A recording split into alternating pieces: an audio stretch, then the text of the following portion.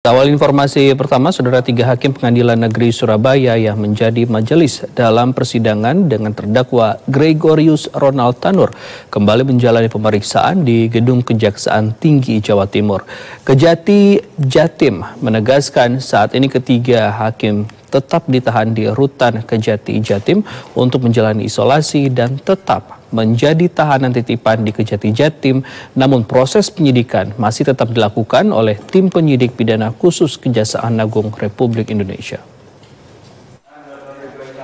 Pada hari kedua pasca penetapan tiga hakim pengadilan negeri Surabaya yakni Mangapul, Erin Tuah Damanik, serta Heru Hanindio kembali menjalani pemeriksaan sebagai tersangka oleh Kejaksaan Agung di gedung Kejatim Jatim dalam perkara bebasnya Ronald Tanur atas vonis kasus penganiayaan yang menyebabkan kekasihnya Dini Sera Afrianti meninggal dunia.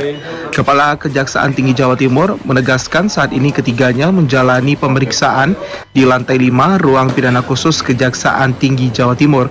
Sementara itu atas perintah Kejaksaan Agung dan mempermudah pemeriksaan mengingat lokasi kejadian ada di Surabaya, proses penahanan ketiga hakim tersebut dititipkan di Rutan Kejati Jawa Timur. Di, eh, di tempat kami karena kami memiliki fasilitas untuk 90 orang, baru masuk 43. Jadi masih ada space untuk bisa tambah 3 dan SOP kami sebelum masuk ke selnya masing-masing harus di uh, namanya di uh, sterilisasi. Jadi eh, uh, di isolasi isolasi selama 14 hari.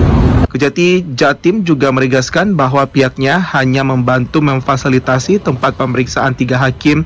Pemfonis bebas Gregorius Ronald Tanur dan proses penyidikan sepenuhnya dilakukan oleh penyidik pidana khusus Kejaksaan Agung Republik Indonesia. Dari Surabaya, Joko Hermanto TVRI melaporkan.